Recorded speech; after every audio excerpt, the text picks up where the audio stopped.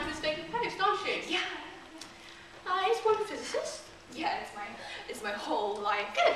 Now, um, before we discuss the applicant's qualifications, we'd like to subject him to a little test to determine his psychological suitability. You've no objection?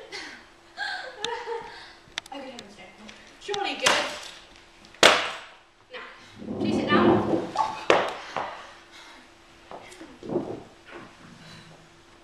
Ah! Have it your palms. Uh, what are they? Electrodes. But, like, what are they? Electrodes. What are they? yeah. Now the earphones. I say, how amusing. Now I plug in. Look into you. I guess you wouldn't use this opposite term of my psychological suitability, does it? Unquestionably. Now, relax. Just relax. Don't think about it. No, no, no, no, no. Relax. Please sit down. Relax.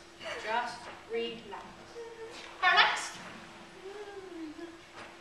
Now, would you say you're an excitable person? Not a Julie, no. Of course, I, I, occasionally. Would you say you're a moody person? Moody?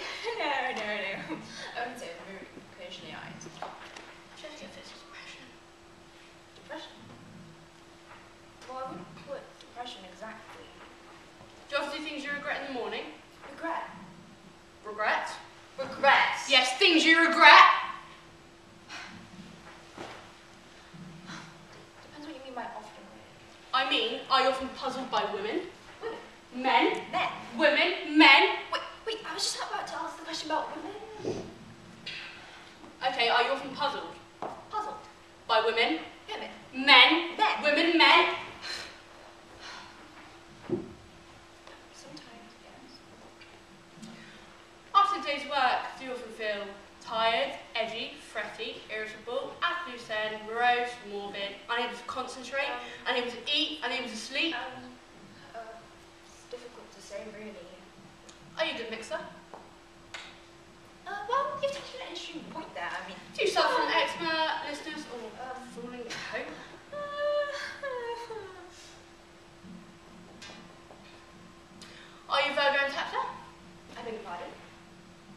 You Virgo intacta?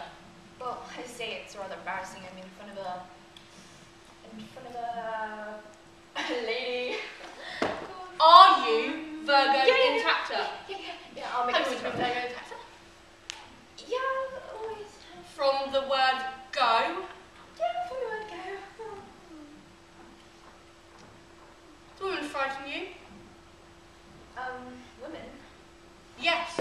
Their clothes, their shoes, their laughter, their voices, their eyes, their knees, there, there, there. I don't know. Depends what you mean.